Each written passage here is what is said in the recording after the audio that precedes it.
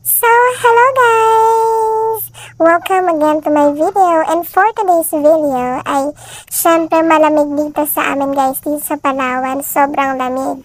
At syempre, ano pa ba ang hanap-hanapin natin kundi itong Shaolong.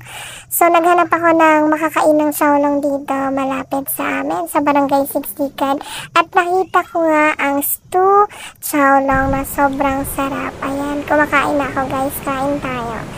Sobrang sarap yan guys. Kaya natin ko ang pagkain. May papikit-pikit pa ang prison. so yun guys, sobrang sarap. Isa yan sa mga pagkain dito sa Palawan na sikat para yung sa mga turista kapag napunta sila dito sa Palawan. Ayan.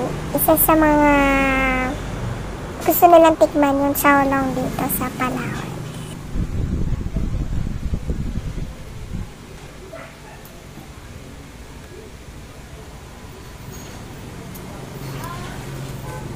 Oh, ayan.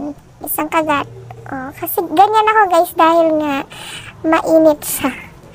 Ang sobrang sarap niyan. Garlic bread yan guys. Ayan. Sarap. oh, ba? Diba?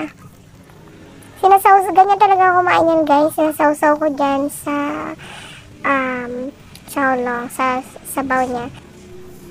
So, ayan guys. Ito yung in-order ko pala ng chowlong ay SBS. Sabihin nun, yung sabaw niya ay beef stew na sabaw tapos pork buto-buto siya guys. So, SBS yun siya guys. So, yan. Kain po tayo. Ayan. Nilagyan ko yan siya guys ng sili para may konting anghang, may konting kagat. Pang papawis sa malamig na panahon. Ayan. Kain po tayo.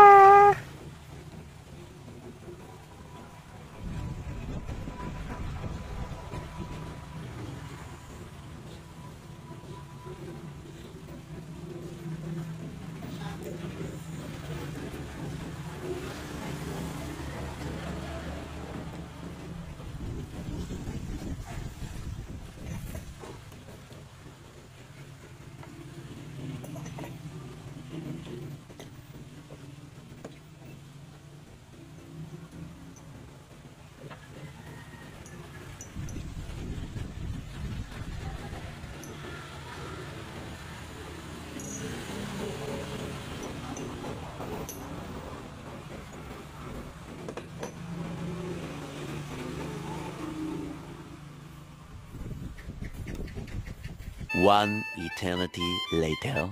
At syempre nga naman guys, ubos na ubos sa sobrang sarap. Tara, uwi na tayo. At yan, along the way, kung makikita nyo guys, ay medyo mainit pa.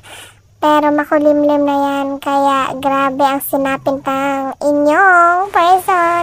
Ayun, kakaway pa lang ako dito guys. Hello, hello, hello. Basta tayo ng ulan. Thank you so much!